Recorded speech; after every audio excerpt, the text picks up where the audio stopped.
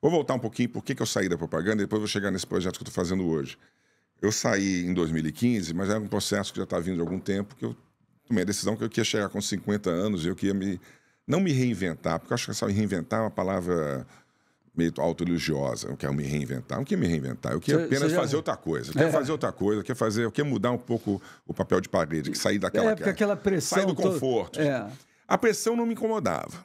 Me incomodava a repetição. Ah. Me incomodava os processos serem muito repetitivos e eu ter chegado à conclusão que eu já tinha feito tudo o que eu podia fazer e tudo que eu fizesse seria uma uma repetição. brilhante, né? É, isso que diga, Não, que eu digam, as, digo, que tô- digam as futuras gerações. Mas, de qualquer maneira, a repetição de coisas. Eu já tinha feito um monte de coisa legal. Tudo que eu fizesse seria uma repetição do que já foi feito.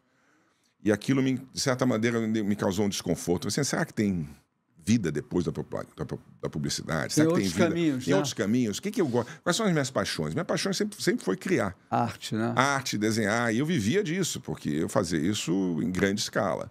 Mas será que eu consigo fazer isso em pequena escala, para mim mesmo? Então, o meu processo criativo, ele não acabou, ele continua, porque eu continuo pintando, continuo fazendo, fazendo posters, fazendo um monte de coisa. Mas eu queria mudar. E eu queria sair, para você sair desse mercado maluco da propaganda, principalmente em São Paulo, ah, eu achava que era necessário sair do país. Então, Senão o nego vai te caçar lá de qualquer maneira. não, é como assim, você, você é piloto de Fórmula 1. Tá todo dia ali, estressante, ali correndo, entrando no box, naquele momento. De repente você vai, sai da, da Fórmula 1 e fica ali sentado no. Não- não faz sentido, Fica né? sentado ali na arquibancada, olhando aquilo tudo, você assim, putz, aí você fica. A sensação que vai dar é de depressão. Nossa, como é que eu larguei isso aqui tudo? Fica olhando. Então você tem que sair, da, você tem que sair do autódromo.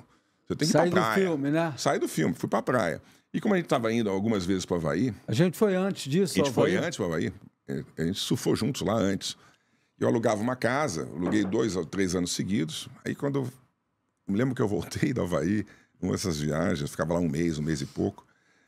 Cheguei em São Paulo, aquela marginal lotada, chuva para tudo canto é. Cheguei na, na agência, os clientes, a Volkswagen me ligando. Cara, não, deu problema nessa campanha, vamos não sei o quê, chovendo, tudo alagado. Me deu uma deprê. É, a palavra Aí- não é deprê. É, É, me deu enough, um- enough, né? É, Não, deu deprê. Eu falei assim, nossa, isso que eu tô fazendo com a minha vida, meu Deus do céu. Você sai daquele paraíso ali, sai de dentro d'água. Tem coisas mais É, interessantes. tem, coisa, tem coisas também tão interessantes quanto e tão diversas, É. muito mais divertidas, diversas do que aquilo que eu estava fazendo, era repetição. Aí eu entrei, me lembro que eu entrei no computador assim, terrenos no Havaí. Ih, caraca, o Aí- negócio está ficando bom. Nada. Ah, é, terrenos no Havaí. E aquela época, 2009, ah, teve aquela crise enorme nos Estados Unidos. Então, os os terrenos mais- preços despencaram. E o dólar despencou. O real subiu, o dólar despencou e os preços fizeram. Buf. Aí eu olhei lá, opa, isso aqui está melhor do que. mais barato que um terreno em Marizias. Porque se Né? tá Falei, ficando bom, Tá né? ficando bom. Aí eu, eu liguei para um, um amigo meu, um advogado, e falei assim: Marcelo, se eu- ô, Ricardo, como é que eu faço para comprar uma coisa fora? Não, você tem que pegar um advogado, não sei o quê. Ele falou assim, eu conheço um grupo de advogados, vou ligar. No dia seguinte já tinha um advogado no Havaí, uma advogada maravilhosa. Aí fiz um call com ela. Ela, eu tenho uma amiga minha que trabalha. Aí começa aquela coisa do network. chain, né? O é, vai chain. uma, uma, aí uma reação em cadeia. E todo mundo quer te servir, né? Também tem essa. Tudo né? bem, mas eu vou indo, né? Claro. A porta vai abrindo, eu vou vendo, eu vou explorando. Ela, eu conheço uma pessoa que vende terrenos no no North Shore e tudo. Aí a gente fez uma call com ela, ela falou dos preços, eu falei, oh, oh, Looking good. looking good. Aí eu acabei comprando um terreno ali perto de Velziland, ali, você conhece lá em casa.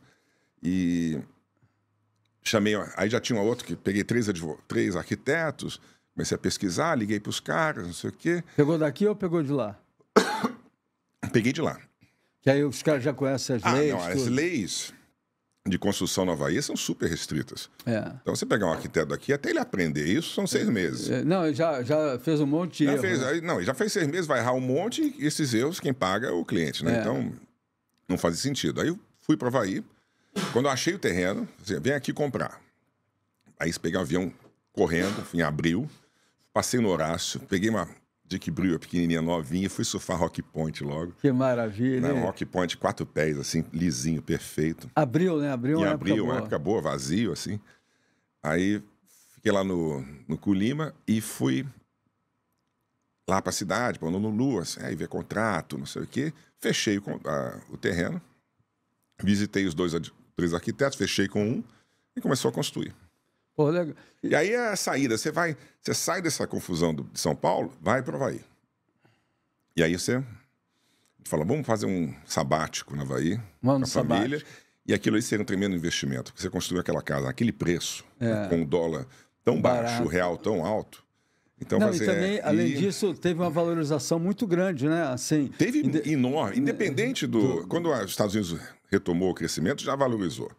Depois teve a pandemia, aí valorizou mais ainda. Então foi um investimento perfeito. E também, eu tenho amigos havaianos que eu moro lá e eu sei que os próprios havaianos ficam tristes que, que subiu tanto o preço do terreno que os havaianos não conseguem mais adquirir um terreno. Ficou né? Fica inviável. assim, inviável, entendeu? Ficou inviável. O É. Havaí está sofrendo um processo de gentrificação, que eles chamam, né? Eu sou, talvez eu seja um dos agentes disso.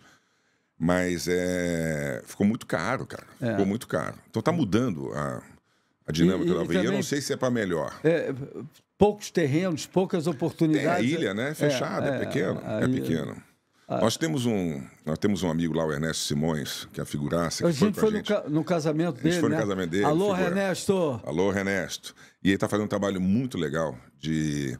Ele está fazendo real estate, né? Quer dizer, imobiliário, construindo casa, as etc. coisas bem faz, faz bem né? feito, mas ele tem um trabalho social bem consciente de ajudar os havaianos Ah, a que ter. Comprar terrenos, a, como Pô. financiar e comprar. Então ele está fazendo o que eles chamam de affordable, affordable housing, né? Que ele está fazendo um trabalho Ah, muito bacana. Pô, que legal. Então, parabéns para o Ernesto.